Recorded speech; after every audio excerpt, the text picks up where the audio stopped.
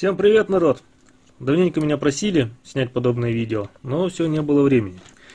Сегодня я снимаю его и постараюсь ответить на ваши вопросы. Речь пойдет о проверке а, катушки зажигания от скутера. Обычный китайский скутер. Они сейчас довольно распространены и довольно нередко ломается. Бывает также, что проблема в поршневой группе, а, проблема в топливной системе, а также бывает проблема с зарядкой и, конечно же, с искрой, с зажиганием. И часто, очень часто задают один и тот же вопрос. Можно ли тестером проверить катушку зажигания? Что я вам скажу?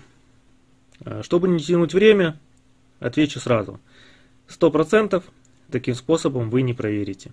По одной простой причине, потому что катушка состоит из первичной обмотки низковольтной и вторичной высоковольтной. И если между э, первичной обмоткой и вторичной есть пробой внутри, то, проверяя тестером, целостность обмоток сохраняться будет. То есть тестер покажет, что все нормально.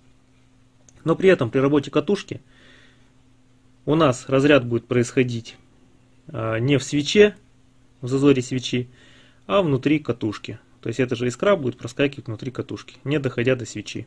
Или через раз, то есть двигатель будет работать с перебоями. Так что 100% проверить получится только а, подменой заведомо рабочей катушки, а, либо установки своей катушки на заведомо рабочий скутер.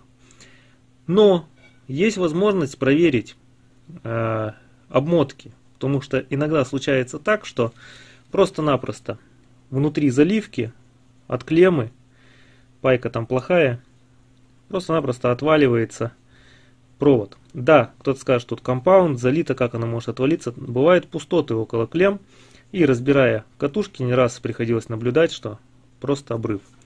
Для этого мы включаем э, тестер в режим измерения сопротивления или прозвонки. Ну, лучше, конечно, на сопротивление. У меня тут автовыбор. Э, вы можете ставить э, сразу на 20 или 200 Ом для проверки первички низковольтной. Смотрим. Здесь у нас показывает 1,2. Ну, с учетом погрешности самих щупов, тут порядка 0,5-0,8 Ом. Да, обмотка целая. Обрыва нету.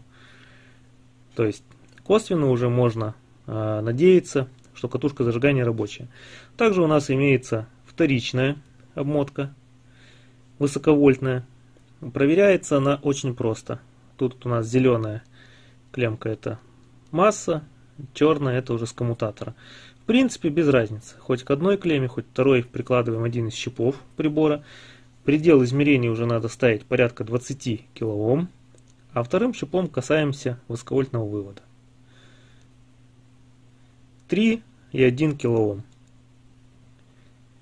В принципе, если бы у вас было к примеру, 1 килоом или там 500-600 Ом, такая катушка уже не будет работать. Часть витков, значит, уже сплавилась, замкнула. Ну вот это вот заведомо рабочая катушка, тут 3 килоома.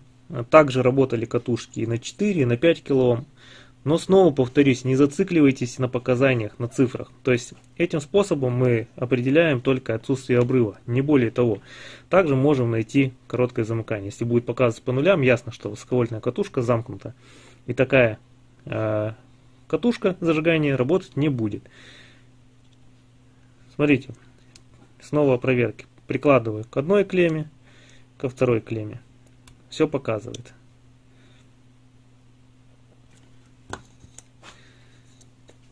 Но такие показания могут быть и на абсолютно рабочей катушке зажигания.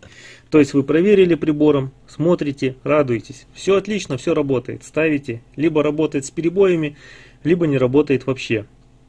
Так что учитывайте этот факт. Даже то, что вы положите свечу на цилиндр, покрутите стартером и увидите, что есть искра, не гарантирует, что эта искра будет под давлением. То есть э, именно во время такта сжатия когда давление максимально, просто-напросто напряжение не хватит, так скажем, сил пробить искровой промежуток свече зажигания. И на неисправной катушке, если пробой межвитковой изоляции, естественно, высокому напряжению легче пойти по пути наименьшего сопротивления, где расстояние меньше. И она будет пробивать внутри катушки. Опять же, вы выкручиваете свечу, смотрите, искра есть. Закручиваете, нету.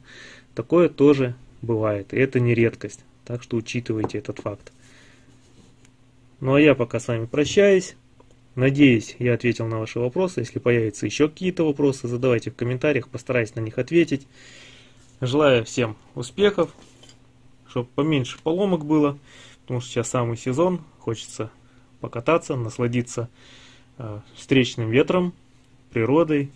Ну, кто-то ездит на рыбалку, кто-то еще куда-то ездит. В общем, наслаждайтесь поездками, поменьше простаивайте в ремонте. Ну и, конечно же, берегите себя. Скоро увидимся.